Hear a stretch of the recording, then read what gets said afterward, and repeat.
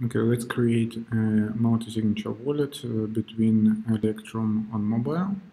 Uh, I have here my screen uh, from the phone, uh, Electrum desktop, uh, and also Specter, uh, Specter desktop.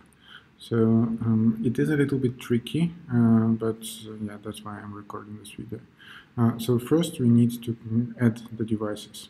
So basically the idea is that every device uh, holds a certain key, recovery phrase, and um, then we can use uh, different subkeys for multi-signature and signature wallets.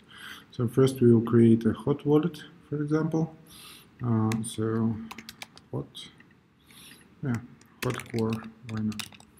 Uh, and yeah, generate a recovery phrase so I will save it uh, somewhere here. And these are the recovery phrases that I will use for Electrum Mobile and desktop. So I'm using not Electrum specific uh, recovery phrases, but uh, standard BIP39 because I like them. Uh, well, because it's more like a standard. Okay, encryption password, let's do one, two, three. Okay, continue. So uh, it is creating a hot Bitcoin Core wallet now. So Bitcoin Core will store our private keys.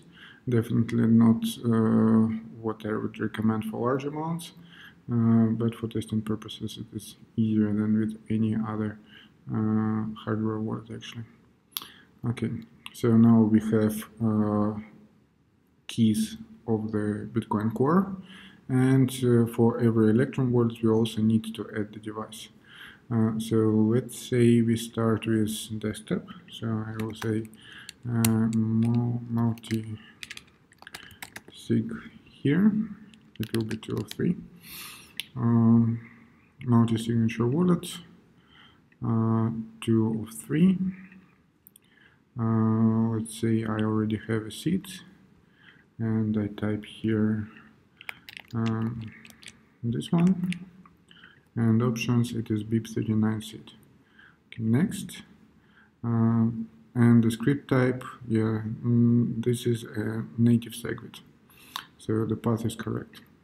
Okay, this is our Zpub that we can also display as a um, QR code, uh, but uh, we'll just copy it and create in Specter desktop, uh, Electrum desktop choose the type that it is Electrum uh, and uh, enter XPub here. This is our XPub.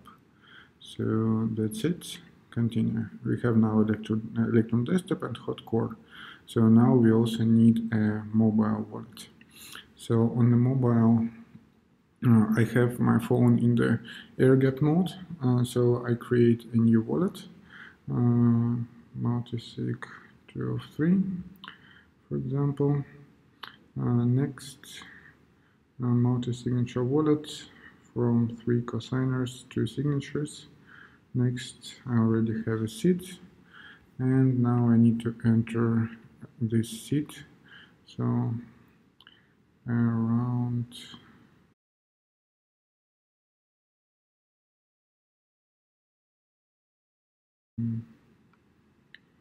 eleven and artwork. Yep, and we go to settings, it is BIP39, okay, next, uh, native SegWit, next, um, okay, and here on mobile it is a little bit tricky, it doesn't display us the uh, right away.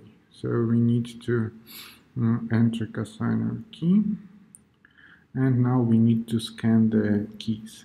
So um, Specter Desktop supports QR codes, but uh, this QR code uh, for Electrum it probably will work. So if I scan it, it just inserted this Zpub because it is also from Electrum. So this is fine. But then the third one is from uh, Bitcoin Core. So we need to find the correct key here. Uh, multi-sig SegWit, this one. If I try to scan this, then uh, it also uh, adds the uh, derivation path that is probably not supported. So I need to actually edit it somehow. Uh, so what I normally do in this case, and there is no uh, way to delete something in this text field. Uh, so I need to clear and I need to get rid of this um, derivation path. So I can just copy it uh, and use any uh, QR code generator uh, that where I can edit the text. So in this particular case, I'm using my own QR code share repository that can be also downloaded and so on, but this is XPub, so should be fine. and now I can scan this. And they have a valid uh, Zpub here. Okay? Uh, passwords. One two three four five six. Okay. Confirm one two three four five six. Uh, yeah and now it actually displayed us the uh, Zpub that we uh, are using. So then we can uh, show it a QR code. Uh, and then here we can finally create an Electrum Mobile. Set the Electrum wallet and then scan the Zpub. Yeah.